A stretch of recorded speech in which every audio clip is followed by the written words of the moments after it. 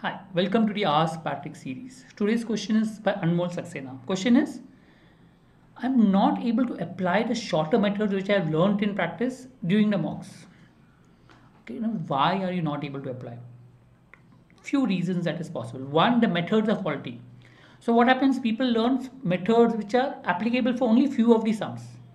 Okay, or specific type of sums. And those specific sums may not come in into mock.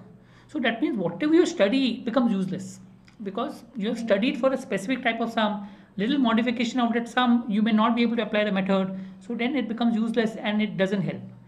Also what happens is when you learn stuff which is applicable only for a specific type of sums you have to learn a lot of concepts a lot of formulas.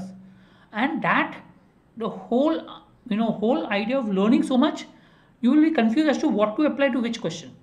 I mean, when you have too much of knowledge and too much of data in your mind then application becomes difficult because you don't know which method to apply to which sum because you may have 10 methods for the same sum and that becomes confusing right?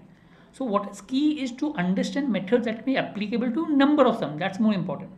Also one more reason and could be that you have not practiced those methods enough.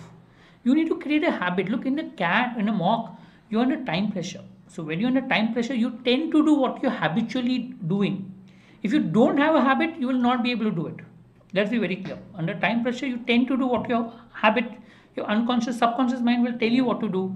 If you don't have a habit of doing it, it will be very difficult for do it. And to build that whole habit, you need to practice the same method in multiple sums. So only if you practice, keep practicing that same method multiple sums, would you create that habit and that will help you to solve. Also important is whenever you practice, the first thing that you should apply is the shorter method. What people do is they first do the traditional method and then do the shorter method. That doesn't matter. First, try take two minutes or three minutes and try to see if you can apply the shorter methods. That will help you to build on practice on the shorter methods. And that will then create a habit that can be used in the mocks or the actual exam.